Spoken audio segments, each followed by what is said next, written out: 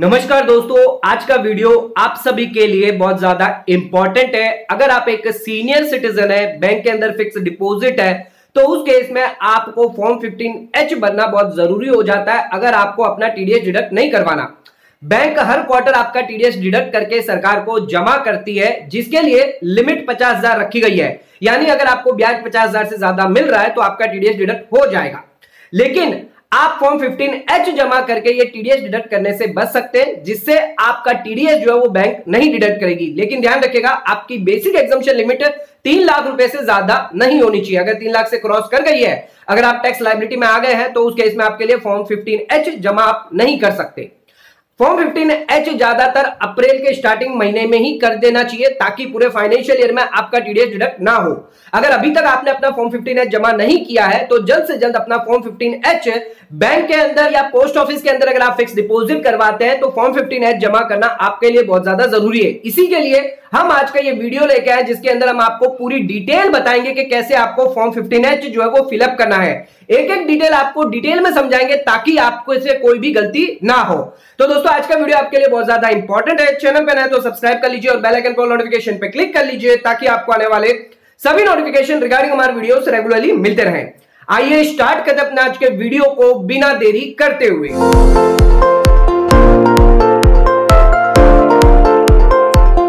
आइए स्टार्ट करते अपने आज के वीडियो को। बात करते हैं फॉर्म 15 एच, आपको कैसे फिलअप करना है? अगर आप किसी बैंक के अंदर फॉर्म 15 एच जमा करने जा रहे हैं, आपकी फिक्स डिपॉजिट है टीडीएस अगर आपको नहीं डिडक्ट करवाना, उसके लिए आपको फॉर्म 15 एच जमा करना पड़ेगा। एक बार अगर आपका टीडीएस डिडक्ट हो गया, सरकार को जमा कर दिया बैंक ने तो उसके इसमें आपको इनकम टैक्स रिटर्न ही फ़ाइल करना पड़ेगा, रिफंड लेने के लिए। इसके अलावा कोई भी और रास्ता नहीं होगा तो अपना फॉर्म जो है वो बिगनिंग ऑफ़ द पीरियड में ही, यानी फाइनेंशियल ईयर स्टार्ट हो, तभी अपना फॉर्म जो है जमा कर दे। अभी भी देरी नहीं हुई है, अभी भी आप अपना फॉर्म 15 एच जमा कर सकते हैं। अगर अप्रैल का महीना जा चुका है तो उस केस में आप मई महीने में भी अपना फॉर्म 15 एच जो है वो जमा सरकार को कर सकते हैं।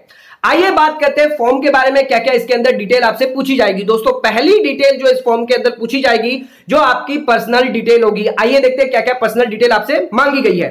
सबसे पहले आप देख रहे हैं कि आपका नाम आपसे पूछा जाएगा। तो दोस्तों नेम ऑफ़ एसएससी यानी जो डिक्लेरेंट है, जो डिक्लेयर कर रहा है इस फॉर्म को फॉर्म 15 एच को, ध्यान रखेगा आपको अपने पैन कार्ड के अंदर जो नाम है, वही नाम आपको यहाँ पर लिखना है। उसके अलावा कोई और नाम आपको, या कोई और स्पेलिंग यहाँ पर आपको नहीं लिखनी है तो ये बहुत ध्यान रखिएगा कि पैन कार्ड के अंदर जो आपका नाम दिया है, वही नाम आप यहाँ पर लिख दे।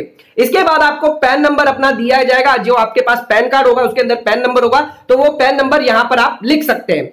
अब आपको जो डेट ऑफ़ बर्थ यहाँ पर लिखनी होगी, वो D D M M Y Y के फॉर्मेट में लिखनी होगी। अब बात करते हैं इसके प्रीवियस ईयर के बारे में। तो ध्यान रखिएगा, इसका जो प्रीवियस ईयर है, ये मान के चलेंगे कि ये एक प्रेजेंट फाइनेंशियल ईयर है। जो प्रीवियस ईयर इसका है, वो एक प्रेजेंट फाइनेंशियल ईयर है। यानी हम इस साल के लिए अपना फॉर्म 15 एच जमा कर रहे हैं, पिछले साल के लिए नहीं कर रहे हैं। तो यहाँ पर जो प्रीवियस ईयर होगा, वो फाइनेंशियल ईयर चौबीस पच्चीस होगा। तो यहाँ पर आपको फाइनेंशियल ईयर चौबीस पच्चीस लिख देना है। आपको फाइनेंशियल ईयर तेईस चौबीस नहीं लिखना है, ना ही आपको यहाँ पर कोई असेसमेंट ईयर लिखना है। तो ध्यान रखिएगा, आपको प्रीवियस ईयर जो है, वो करंट ईयर आपको लिखना है, यानी करंट फाइनेंशियल ईयर लिखना है, यानी फाइनेंशियल ईयर चौबीस पच्चीस लिखना है। अब आ जाते बात करते हैं, आपको अपना एड्रेस यहाँ पर पता बताना होगा तो क्या आपका फ्लैट ब्लॉक नंबर या डोर नंबर है वो आप लिख दीजिए। इसके बाद आपकी कौन सी प्रीमाइसिस है, वो भी आप लिख सकते हैं। कौन सी बिल्डिंग में आप रहते हैं बिल्डिंग का नाम है तो वो लिख दीजिए। रोड स्ट्रीट लैंड में आप रहते हैं तो वो आप लिख सकते हैं। इसके अलावा जो भी एरिया है लोकेलिटी है, वो आप लिख दीजिए। ध्यान रखिएगा, आपके पास सिटी का यहाँ पर ऑप्शन दिया गया सिटी डिस्ट्रिक्ट टाउन जो है, वो आप लिख दीजिए नेक्स्ट कॉलम में। दसवां जो कॉलम है, इसके अंदर आपसे स्टेट पूछा जाएगा। आप महाराष्ट्र से है तो महाराष्ट्र लिख दीजिए। दिल्ली है तो दिल्ली से लिख दीजिए।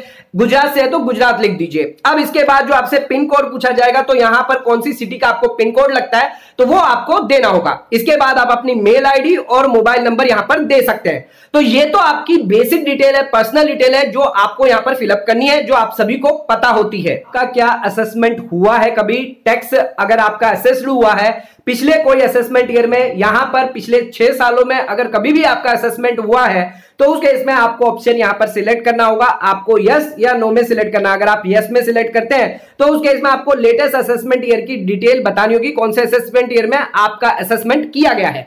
तो यहाँ पर जो लेटेस्ट है, यानी पिछले साल हुआ है तो असेसमेंट ईयर तेईस, चौबीस आप लिख सकते हैं। ध्यान रखिएगा, ज़्यादातर जो नॉर्मल प्रैक्टिस है, वो यहाँ पर टैक्स असेसमेंट के लिए नो का ऑप्शन सिलेक्ट करने को कहा जाता है, ताकि आपको कभी भी कोई दिक्कत ना हो। यहाँ पर जो एक्सेप्ट कर लिया जाता है तो आप नो में यहाँ पर टिक कर सकते हैं। आइए आ जाते हैं अपने फिफ्टींथ पॉइंट के अंदर। जहाँ पर आपको एस्टिमेटेड अपनी इनकम लिखनी है, यानी कितना इंटरेस्ट आपको उस बैंक द्वारा मिल रहा है, जहाँ पर आपने फिक्स डिपॉजिट करवाई है, जिसके अंदर आप फॉर्म 15 एच जो है वो डिक्लेरेशन दे रहे हैं। तो यहाँ पर आपको एस्टिमेटेड इनकम लिखनी है। ध्यान रखिएगा एस्टिमेटेड इनकम की डिटेल आपको कहाँ से मिलेगी? जो डिटेल आप 18 नंबर पॉइंट में सबमिट करने वाले हैं। 18 नंबर में आप यहाँ पर जो सबमिट करेंगे, यानी जो भी अकाउंट नंबर है, आपका फिक्स डिपोजिट की जो एफडी नंबर है, वो आपको देना होगा 80 नंबर के कॉलम में। इसके बाद नेचर क्या है, यानी इंटरेस्ट आपको मिल रहा है। कौन से सेक्शन में आपका टीडीएस डिडक्ट हो सकता है? यानी इंटरेस्ट है तो 194 ए इनकम टैक्स के हिसाब से आपका टीडीएस डिडक्ट होगा। 10 परसेंट की रेट के हिसाब से। अगर पचास हज़ार से ज़्यादा एक्सीड होता है और कितना अमाउंट ऑफ़ इंटरेस्ट आपका है, उस एफडी रिलेटेड यानी अगर आपने पाँच एफडी करी है, तीन एफडी करी, दो एफडी करी तो सभी एफडी का आपको एस्टिमेटेड इंटरेस्ट जो है वो यहाँ पर लिखना होगा। अब आपको यहाँ पर एस्टिमेटेड इनकम जो है, पाँच नंबर, पंद्रह नंबर के कॉलम में जो इंटरेस्ट इनकम आपने अठारह नंबर के कॉलम में दिखाई है इंटरेस्ट इनकम वही इनकम आपको एस्टिमेटेड कॉलम में, यानी पंद्रह नंबर के टेबल में आपको दे देनी है। इसके बाद बात करते हैं 16 नंबर की टेबल जिसके अंदर आपको एस्टिमेटेड टोटल इनकम देनी है इंक्लूडिंग इनकम 15 के अंदर। जो 15 के अंदर आपने इंटरेस्ट इनकम दिखाई है, वो तो आपको देनी है। इसके अलावा अगर आपकी कोई अदर इनकम है जैसे सैलरी इनकम हो गई, या अगर आपका डिविडेंड आपको मिला है शेयर्स की इनकम है तो वो भी आपको लिखनी है। ध्यान रखिएगा टोटल आपकी इनकम जो है वो तीन लाख से ज़्यादा क्रॉस नहीं होनी चाहिए। अगर आपकी टैक्स लाइबिलिटी आ जाती है बेसिक एग्जामेशन लिमिट से क्रॉस हो जाती है इनकम तो उस केस में आपको फॉर्म फिफ्टीन एच जमा नहीं कर सकते। उस केस में आपका टीडीएस डिडक्ट होगा और आप इनकम टैक्स रिटर्न फ़ाइल करके ही इसका बेनिफिट ले पाएँगे। दोस्तों, इन डिटेल के अलावा आपको यह भी डिटेल देनी है कि क्या आपने पहले कोई फॉर्म 15H जमा किया है? तो 17 नंबर के अंदर कितने फॉर्म 15H आपने जमा किए हैं? तो उसकी डिटेल देनी है और कितने टोटल अमाउंट आपने दिया है 15H के अंदर, वो आपको दे देना है। 18 नंबर के कॉलम में हमने आपको ऑलरेडी बता दिया है कि क्या क्या डिटेल आपको देनी है। जितनी भी आपकी फिक्स डिपॉजिट होगी, वो सभी फिक्स डिपॉजिट की डिटेल आपको देनी है। कौन सी नेचर ऑफ़ इनकम आपको वहाँ से मिल रही है? फिक्स डिपॉजिट से वो आपको बताना है कौन सा सेक्शन में टीडीएस है और कितने कितने अमाउंट का आपको इंटरेस्ट मिल रहा है। ये सभी डिटेल आपको दे देनी है। तो ये दोस्तों, ये पूरा का पूरा फॉर्म जो है यहाँ पर कंप्लीट हो जाता है। अठारह पॉइंट यहाँ पर कवर किए। इसके बाद आपको सिग्नेचर यहाँ पर कर देना और ये डिक्लेरेशन दे देना। यानी जो भी डिटेल आप दे रहे हैं, वो सही है करेक्ट है और कोई भी डिटेल जो है यहाँ पर गलत नहीं है।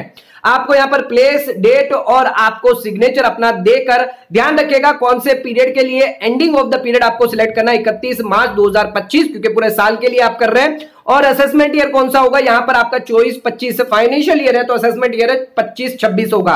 तो ये देना ना भूले और अपना नाम भी यहाँ पर डिक्लेरेशन में ज़रूर दे दें। तो दोस्तों, ये पूरा फॉर्म जो है वो यहाँ पर हमने फिलअप कर दिया। अब ये फॉर्म जो है आप जमा कर सकते हैं बैंक में जाकर। अगर आपकी बैंक जो है ऑनलाइन आपको ये फॉर्म देती है तो आप ऑनलाइन भी इस फॉर्म को सबमिट कर सकते हैं। लेकिन अगर आप चाहते हैं आप फ़िज़िकल इस फॉर्म को जमा करना तो इस तरह से आप पूरी डिटेल भर लीजिए। जैसे हमने इसमें वीडियो में आपको बताया और ये फॉर्म जाकर अपने बैंक को नियरेस्ट जो भी आपकी बैंक है, आपकी ब्रांच में जाकर आप इसको जमा कर दे, ताकि बैंक जो है इस फॉर्म के बाद आपका टीडीएस डिडक्ट ना कर पाए। हमने आपको डिटेल प्रोसेस सिखाई है कैसे आप फॉर्म 15H फिलअप करके बैंक को जमा कर सकते हैं और अपना टीडीएस बचा सकते हैं। अगर अभी तक आपने हमारे चैनल सब्सक्राइब नहीं किया तो जल्द से जल्द सब्सक्राइब कर लीजिए। एक लाख छप्पन हज़ार सब्सक्राइबर हमारे हो चुके हैं।